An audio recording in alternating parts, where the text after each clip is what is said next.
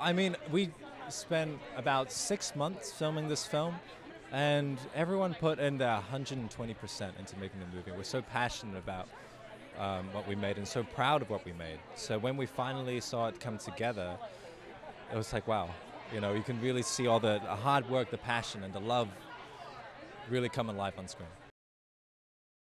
You know, there is a message that is, um, you know, ongoing in the movie, and it's to be loyal, brave, and true.